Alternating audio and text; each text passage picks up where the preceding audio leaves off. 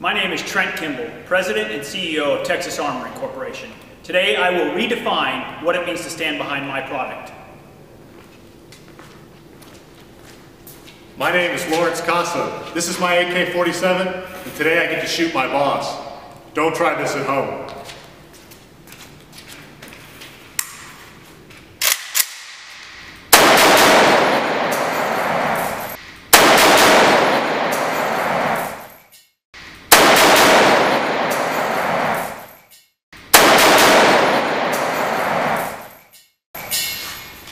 No penetration.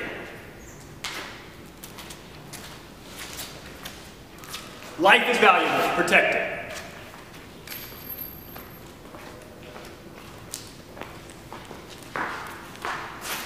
Holy crap.